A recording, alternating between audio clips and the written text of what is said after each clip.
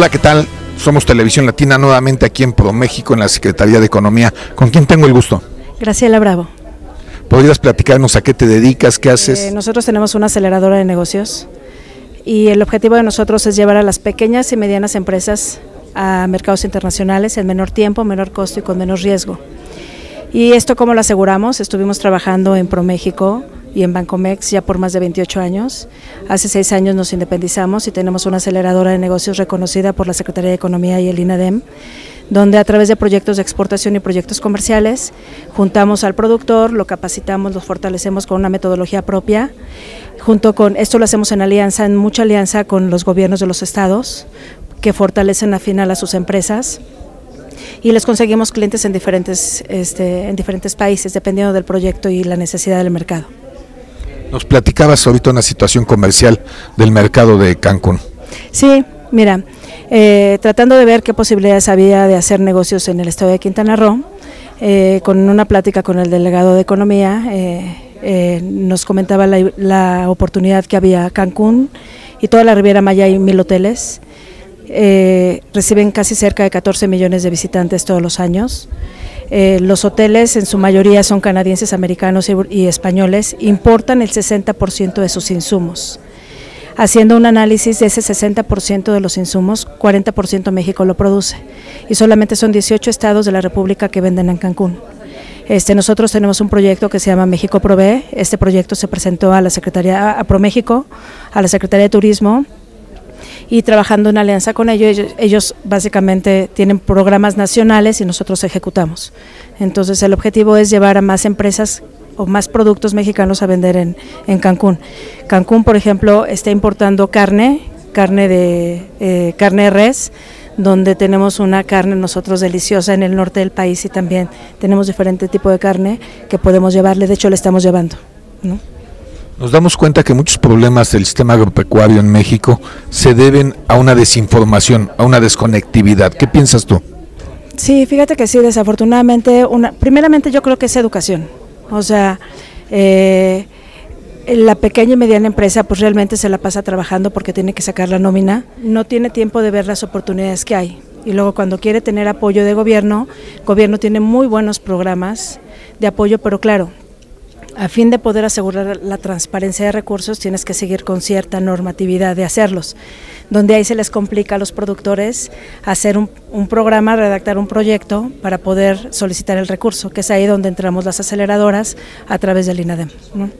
Si yo soy un pequeño productor, digamos que produzca 10, 20 toneladas de algún producto, ¿qué opción tengo de crecer con ustedes? Mira, nosotros tenemos eh, proyectos comerciales, tenemos el proyecto de eh, venta de proveeduría para hoteles y restaurantes en Cancún. Con la Secretaría de Turismo ya abrimos Puerto Vallarta, vamos a abrir también Los Cabos y también tenemos tres proyectos de exportación. Tenemos un proyecto de exportación de productos agros para Estados Unidos y Canadá, llevar frutas y verduras a, estos, a dos países ahorita. Estamos abriendo también Europa, pero estamos concentrados en Estados Unidos y Canadá. Tenemos un proyecto muy lindo que es, se llama Alma Verde, el sabor de campo mexicano. Eh, queremos posicionar a, México, es un proyecto marca país, donde queremos posicionar a México como uno de los principales productores de productos orgánicos, funcionales, nutrimentales. Y ahí tenemos productos desde miel, vainilla, moringa, stevia, todo lo orgánico, todo lo natural, y es a través de una marca propia y en la parte de atrás se pone que este proyecto es gracias a los productores de, se les pone, y, y ahí tiene una importado y distribuido internacionalmente por la aceleradora de negocios. Nosotros tuvimos, tuvimos que poner oficialmente oficinas en los países donde estamos comercializando para evitar el, la intermediación y el coyotaje. Entonces mejor queremos que la, la riqueza se quede en México y nosotros tenemos toda la trazabilidad. Hace poco un productor de, de, maíz que se dedica al sector de la tortilla decía que lo contactaban los ingleses que condiciones de salud les es más sano consumir la tortilla que el pan y están pensando en fabricar tortillas allá o producir tortillas allá. Mi pregunta es, ¿sería viable fabricarlas para venderlas allá?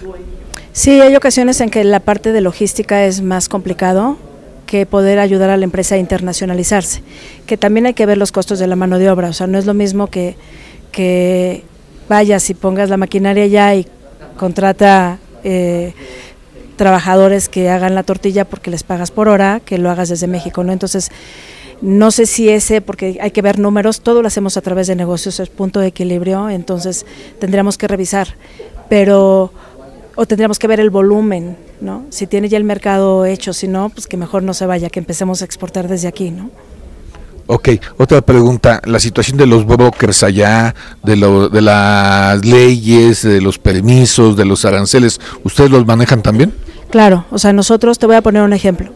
Eh, tenemos otro proyecto que se llama, es eh, llevar el producto mexicano a los conacionales en Estados Unidos y Canadá. Tenemos desde tortilla de maíz, tenemos tortilla con nopal, tortilla con chipotle, con chipilín, con flor de calabaza. Nosotros, la empresa me entrega sus análisis nutrimentales. Esos análisis nosotros los validamos con la FDA que efectivamente cumpla con toda la norma y la pureza del producto, que no haya ningún, ningún químico o algo que vaya a afectar la salud. Este, y una vez que está eso, nosotros trabajamos con la etiqueta, con la este con la adecuación del producto y para exportar. Y de hecho nosotros lo llevamos a exportar junto con la empresa. ¿Los protocolos de sanidad y de buenas prácticas han sido obstáculo? Eh, no es un obstáculo cuando ya verifica, nosotros verificamos que, la empresa lo tiene. Una vez que lo tiene, al contrario, lo aceleramos. Te pongo un ejemplo por ejemplo, del plátano. Eh, el plátano, por ejemplo, Chiquita Banana, que es el importador mundial de plátano, compra a productores en finca en 7 dólares.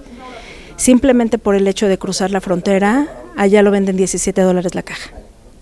Entonces ya ahorita con nosotros, juntos el productor con nosotros, llevamos el, plátano y lo vendemos en 17 dólares. Bueno, estábamos platicando y nos damos cuenta que el mercado alemán es el mercado que mejor paga los productos alimenticios. Después de, sus, de su crisis de las vacas locas, están muy interesados en la sanidad y no les importa pagar, aún gastando muchísimo, no es ni el 20% de sus ingresos. ¿Qué tan difícil ha sido el mercado alemán para nosotros? Fíjate que del mercado alemán ahorita estamos mandando miel.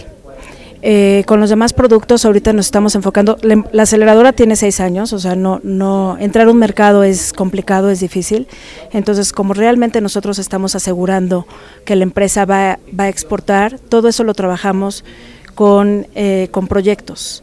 Ahorita vamos a entrar a Europa, pero vamos a entrar ahorita con Polonia, eh, vamos a entrar en Alemania con miel, Alemania con vainilla, entonces es producto mercado no es un proyecto así, entonces tendríamos que verificar cuáles son los productos, pero no, no solamente es el mercado este, alemán, por ejemplo, Australia nos está pidiendo todo producto orgánico que es otro proyecto que tenemos, el te digo, el de Alma Verde, el sabor del campo de México. Este, queremos llevar el producto orgánico, nutrimental, funcional al, a nuestros conacionales y a los, al mercado neozelandés y australiano. ¿no? Entonces hay mucho mercado. Mercados, México tiene 12 acuerdos comerciales, 13 acuerdos comerciales con más de 40 países. El 70% de las exportaciones se va a Estados Unidos. Entonces yo creo que es una muy buena oportunidad ahorita con la parte política que está pasando en Estados Unidos que podamos diversificar. Ahí está el mercado, lo difícil es ser mejor que la competencia, que es en lo que tenemos que prepararnos. Diríamos que la desinformación ha sido algo que nos ha estado deteniendo. Sí, también el miedo, ¿eh? Y el aventarnos salirnos, decir qué pasa, pero bueno, siempre es importante ir de la mano con gobierno y, tener un, yo les digo a las empresas, tú trabajas y tienes que trabajar un 110% y ese 110% pues trabajar tres o cuatro horas diarias más, pero pues es la única forma de poder hacerlo para que no desvíes lo que estás, el, el trabajo y el negocio que ya tienes, ¿no? Los países árabes tienen 0% de agua, pero tienen muchísimo dinero y se quieren convertir en los principales distribuidores de alimentos. ¿Qué opciones hay para venderles a ellos? Fíjate que precisamente estaba platicando con el representante de Arabia Saudita en México y va a haber una misión eh, a, a mediados de diciembre. ¿no? Entonces estamos, hemos estado trabajando con él para seleccionar. Ellos nos están pidiendo desde galletas, café, eh, eh, alimentos básicos. Entonces, son empresas que simplemente ya están con nosotros en proyectos y dan el brinco a otro, no nos piden alguna certificación kosher, hay algunos productos que no piden certificaciones, entonces eh, ahí estamos trabajando con ellos. te digo, mercados hay un montón, nada más hay que enfocarse, o sea, porque cada proyecto, cada mercado son acciones, es presupuesto, es tiempo, entonces es, es ir haciéndolo poco a poco, ¿no? Entonces nosotros reglamentándonos con las condiciones del certificado halal que piden los árabes, ¿podríamos estar bien exportando? Eh, sinceramente no conozco mucho toda la parte de esa certificación, permíteme revisarla. pero si tenemos una vez que, hagamos, vamos a hacer la primera misión comercial, eh, es bien importante. Yo no, yo no puedo empezar un, decir si te lo voy a exportar eh, si no conocemos a la entidad que regula toda la norma. Porque tú puedes mandar un producto y lo mandas en contenedor. Y si tú no revisas la norma, tu contenedor se queda ahí y lo pueden destruir. Y es dinero perdido. Entonces, yo prefiero decir, aguántame tantito y vamos a revisar la norma, vamos a asegurar que efectivamente el producto está listo para ese mercado. Porque no solamente es llevar el producto y la certificación, es desde el empaque, desde si lo quieres en libras o en kilos, el, gramaje que tienen, el, el, empaque, el material que le van a poner, son muchas cosas, el idioma que le vas a poner en la etiqueta. Entonces, antes de decir, lo voy a mandar. Entonces, adecuar el producto, adecuar la oferta al mercado. El principal distribuidor de alimentos en Japón decía que estaba muy interesado en obtener alimentos de, México. Incluso hay productores mexicanos en el estado de Puebla que producen productos específicos para la comunidad japonesa en México. Ellos necesitan un alimento, dice que porque los jóvenes no quieren pelar la fruta, no quieren partirla, quieren algo de ábrase y cómase. Este, ¿Has tenido con la gente que trabajas alguien que esté en esa línea de trabajo? Fíjate que desafortunadamente es un mercado bien importante. Se llama, hay una, la industria a nivel mundial, México no la tiene todavía. Eh, se llama cuarta gama. ¿En qué consiste este tipo de industria? Es el producto, te voy a poner un ejemplo, es el mango, ya pelado, cortado en una charolita, listo para que la gente lo agarre del anaquel y se lo coma. Y ese producto puede estar en el anaquel sin refrigeración hasta tres o cuatro semanas. ¿Cuál es la condición? Es que es la cuarta gama, esa tecnología es cuarta gama que le, una vez que esté en la charola le, inyectas dióxido de oxígeno e hidrógeno y permanece. Italia y Alemania son los únicos países que tienen esa maquinaria. Sabemos que la llave para vender en Estados Unidos es la radiación de los alimentos. ¿Qué piensas tú? ¿Es buena, es mala? Porque el campesino como que le da miedo, ni siquiera sabe que no lo entiende. Pues mira, este, mientras más natural sea el producto, mucho mejor. Eh, al final, el momento de que vas a vender tu producto, tú vas a ofrecer lo que tú tengas, pero siempre y cuando cumpla con la norma. En el caso de los alimentos, por ejemplo, frescos, Estados Unidos, no necesariamente te piden una radiación. Por ejemplo, en el caso del mango, te piden que tenga un proceso de lavado, un proceso de hidrotérmico, que no es radiación, simplemente pasa por, por agua a ciertos grados de temperatura para que se lave bien el mango este, y, pueda ser eh, consumido en el mercado. En el caso de la papaya, por ejemplo, para que puedas exportar papaya a Estados Unidos, la papaya tiene un hongo. Entonces, tienes que asegurar que la papaya no tenga ese hongo, pero no es ninguna radiación. O sea, es tú tienes que asegurar que los análisis, el agua que tú lo utilizas no tiene salmonela. Eh, y tienes, una vez que tú mandas el producto, por lo menos tienes que esperar cinco, cinco ocasiones a que tú mandas la papaya para que FDA le haga una inspección y una vez si pasa la inspección y no tiene ninguna bacteria, te dan una, una tarjeta verde para que la sexta exportación se haga libre. La sandía, por ejemplo, vamos a empezar a, cortar sandía. La sandía no necesita nada, nada más la carras de campo, la cortas, la limpias y la pones en el camión y vámonos. Y ya ya en McAllen ya se ponen sus cajas, ¿no? Entonces, no, es yo creo que es desinformación. Ok, ¿crees que alguna vez podamos documentar tu trabajo más al detalle? Me encantaría. Yo creo que es lo que yo traigo realmente es parte de mi misión de vida. Es un, es un modelo que se puede implementar en todos lados, en cualquier industria. Y bueno, la industria agroalimentaria, la de México. México es un país bello, tiene el clima, tiene la tierra, tiene la gente. Entonces realmente simplemente es trabajar con estrategia y hacerlo. ¿no? Dicen que los mexicanos nacimos para migrar, para ser delincuentes, andar en los carteles o ir a otros países a humillarnos, a pagar con la humillación el sustento de, nuestras familias, porque en México no hay oportunidad. ¿Tú qué piensas de esto?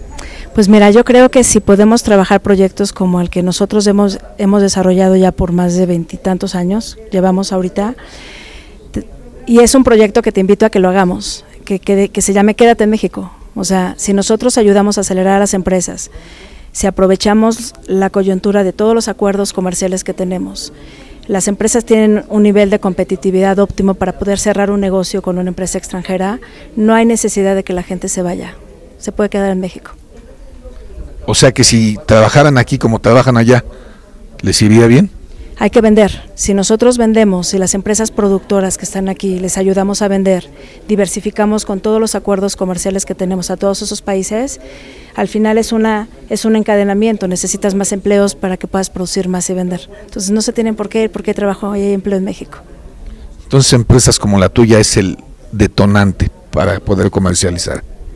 Pues no detonante, me queremos contribuir por lo menos con un granito de mostaza al, a lo que es el desarrollo económico de México. ¿Algo más que desees añadir? Pues te agradezco muchísimo porque la verdad, eh, pues empresas como ustedes que se dedican a la comunicación nos pueden ayudar a, a llegar a diferentes empresas en México que, que, vean lo que junto con el gobierno nosotros estamos haciendo. ¿no? Ok, muchísimas gracias. Esto es Televisión Latina.